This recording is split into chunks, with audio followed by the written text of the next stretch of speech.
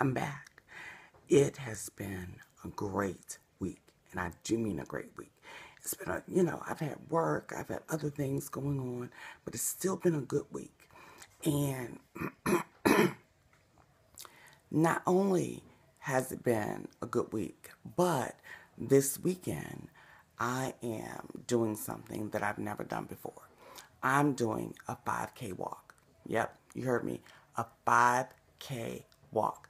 I'm doing a 5K walk on HIV and AIDS in Baltimore this weekend. And I'm thrilled because it's something I've never ever done before. Not only have I never ever done it before, but I'm challenging myself because I didn't even think I could walk five miles.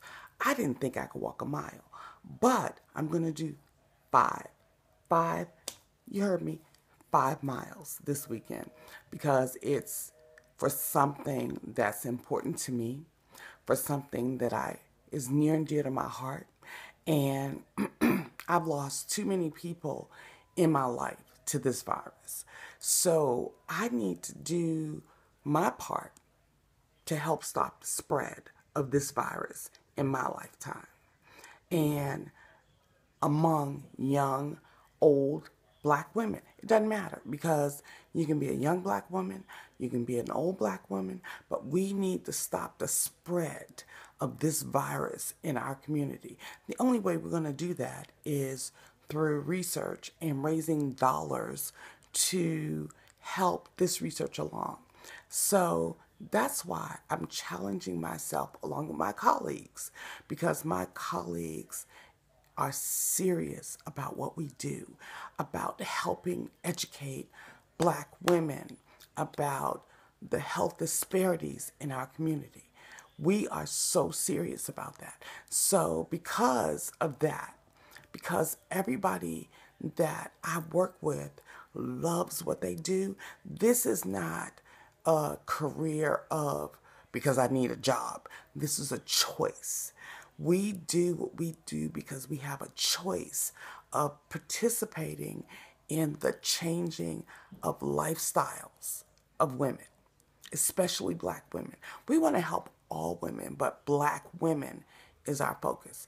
Black women and women of color, because we're the ones that are left out. We're the ones that nobody ever thinks about. Black women and women of color. And we are the only, only organization that's doing it. So that's why I love where I work. I do. I really, really do. Because we do what nobody else is doing. That's why this weekend on Sunday in Baltimore, I will be walking what? Five miles. Are you serious? Five miles. I can't even think about it. But you know what? I'm challenging myself. I'm doing something that I wouldn't do, never have done ever in my life. And I'm making sure that I understand that it's not about age, it's not about anything else other than I'm willing to challenge me. I've got a 36 year old son who I didn't have until after college. So I'm really grateful that I'm still able to do this, this thing. Five miles. And I keep saying five miles because, honey, I don't know at the end of five miles what I'm going to be, how I'm going to be doing, what I'm going to look like. But you know what? I don't care. This is a worthy cause. My mom thought it was so important that she donated on the website for this walk this weekend in honor of my godbrother because he, this virus, took him away from here a long time ago in the 80s. Before we've had all of the research and all of the things that are going on, it took him her only godchild.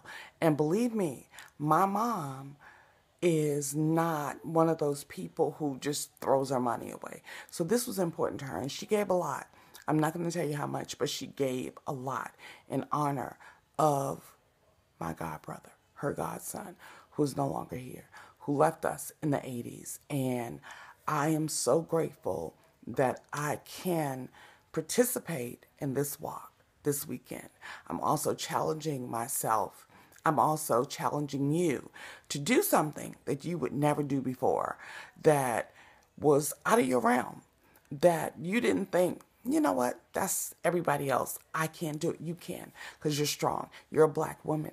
Black women are strong and we're resilient. Hear me, we are resilient and we are not defined. We are not defined by anything other than what we think of ourselves. We think of ourselves. As long as you understand how important you are and that you are the change engine in your life, not somebody else, but you. You're the change engine. We're going to be good. See you.